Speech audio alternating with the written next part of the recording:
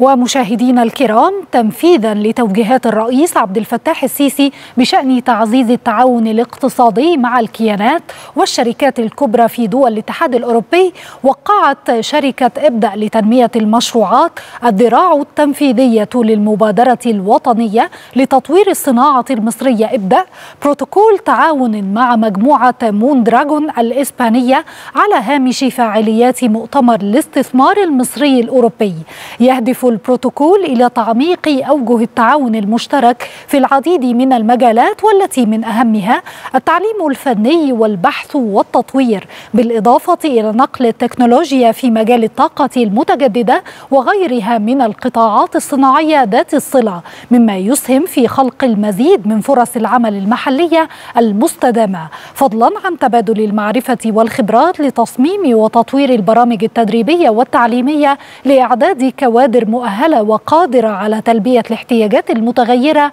لسوق العمل المحلي والدولي.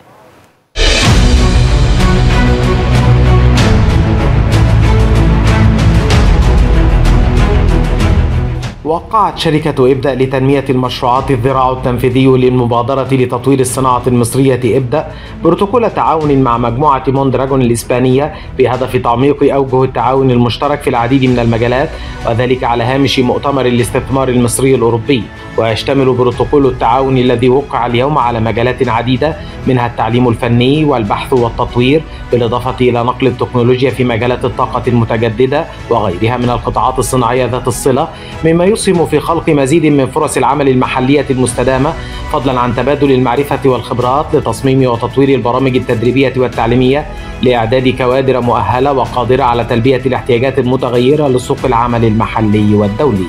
وخلال التوقيع أكدت الدكتورة أماني عيد الرئيس التنفيذي لشركة إبدأ أن هذا التعاون هو أولى ثمار نجاح الشركة بين إبدأ وشركة كوبريكي الإسبانية فهو يعد بمثابة الشرارة الرئيسية لتشجيع مجموعة موندراجون العالمية على زيادة استثماراتها في مصر في قطاع الصناعة وقطاعي التعليم الفني والتدريب التقني. كما أكدت الدكتورة أماني عيد على سعي مبادرة إبدأ الدائم لجذب مزيد من الاستثمارات الأجنبية المباشرة لا سيما الاستثمارات الصناعية لدعم وتطوير قطاع الصناعة مما يساعد في إحلال الواردات وتعظيم الصادرات المصرية وتعزيز قدرات مصر التنافسية في الأسواق العالمية. وتعد مجموعة موندراجون العالمية واحدة من أكبر الشركات العالمية في مجال تصنيع صمامات أمان الغاز لإنشاء مصنع كوبريكي مصر ليصبح أول مصنع لتصنيع صمام أمان الغاز للبوتاجاز في مصر والذي تصل طاقته الإنتاجية لأكثر من 10 ملايين صمام أمان غاز سنوياً.